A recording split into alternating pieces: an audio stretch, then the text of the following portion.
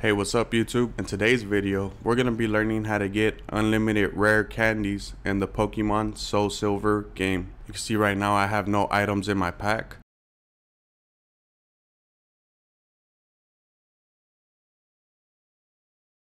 We're gonna press the settings button on the top left, cheat codes, press the add button, the name is rare candy,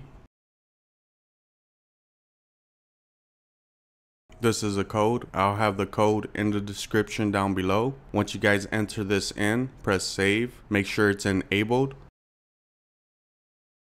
Go back to the game. Go to your bag. There's no rare candies yet. So what we're going to do is press the L and R button at the same time and the rare candies appear. So if this video worked for you, hit that like button down below, comment if you need help, and subscribe for more videos. iPhoneSpek here. Peace out.